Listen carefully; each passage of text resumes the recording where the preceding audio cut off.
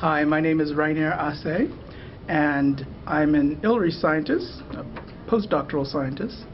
Um, my area of focus is natural resource management. I'm based at the University of Gadjah Mada in Indonesia, and um, I'm originally from Boston, so being in Southeast Asia is quite an adventure for me. This is the first time working in uh, the, um, the Southeast Asia region. I've mostly worked in West Africa with ILRI uh, in Mali. I work on the EcoZD project, and the uh, name, the long name for the project is Ecosystem Approach Approaches to Better Management of Zoonotic uh, Emerging Infectious Diseases.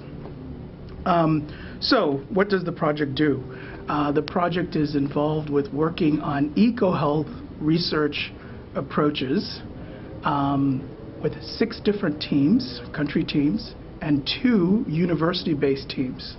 Uh, and essentially, it's um, using a holistic or systems uh, perspective on looking at zoonotic diseases, so diseases that affect both um, humans and animals, and using also looking at the environment uh, in terms of uh, uh, these diseases and the livestock production systems that are connected to these zoonotic diseases. Um, what's exciting about this project is that it's in six different countries, a range of different uh, activities, um, and hopefully a range of different outputs. There are many outputs that are already um, happening in terms of research and in terms of uh, development. Um, so we just recently had our uh, regional meeting.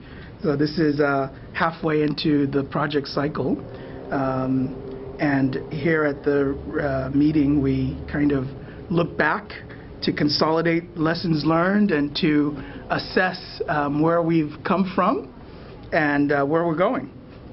And so right now, we're uh, moving towards how will we disseminate our findings, how will we connect to policymakers, um, and how will we put our findings from these six different research teams into uh, a bigger picture um, in terms of understanding how it fits into some of the CGIAR mega programs and some of the regional uh, issues that are important.